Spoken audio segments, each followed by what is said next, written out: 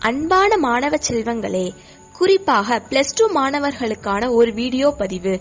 தாங்கள் உயர்கல்விக்காக எந்த துறையை தேர்ந்தெடுக்க வேண்டும் என்ற எண்ணத்தில் உள்ளீர்கள்? இதோ உங்களுக்கான ஒரு அரிய வாய்ப்பு. இன்றைய உலகில் நாம் அனைவரையும் இணைத்துக் கொண்டு இருப்பது டெக்னாலஜி மட்டுமே. இது அனைவருக்கும் தெரிந்ததே. அதில் இன்ஃபர்மேஷன் டெக்னாலஜியும் அடங்கும். ஆகவே இதற்காக நாம் இப்போது தேர்ந்தெடுக்க வேண்டிய துறை BSc information technology Noorul Islam கலை மற்றும் அறிவியல் கல்லூரி நாக் பி கிரேடை பெற்று மனோன்மணிய சுந்தர்னார் யுனிவர்சிட்டியின் கீழ் இருபத்தி ஓரு வருடங்களாக இயங்கி வருகிறது. நாம் அனைவருக்கும் ஒரு கேள்வி இருக்கிறது.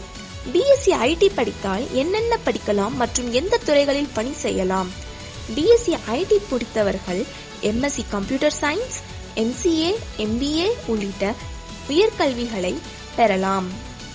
எல்லாவிதமான அரசு மற்றும் தனியார் பணிகளில் பணியமர்வு செய்யலாம். பிஎஸ்சி ஐடி படித்த மாணவ மாணவிகள் aerospace Bharat electronics and communication limited civil aviation department internet technology defence services health care equipment manufacturing industry atomic energy commission IT industry and telecommunication industry இந்த துறைகளில் எல்லாம் பணி செய்யலாம். மேலும் application programmer, information technologist, computer information specialist, database administrator, graphic designer, system designer. Also they worked in Google, Amazon, Apple, Tata and HP. Noorul இஸ்லாம் காலேஜில் BSc IT தேர்ந்தெடுப்பதற்கான நோக்கம் பல முன்னாள் மாணவர்கள் பல்கலைக்கழக தேர்வில் ஃபர்ஸ்ட் செகண்ட் தேர்ட் உள்ளிட்ட அறுபத்தி இரண்டு யூனிவர்சிட்டி ரேங்குடன் ஐந்து முறை கோல்டு மெடல் பெற்றுள்ளனர்.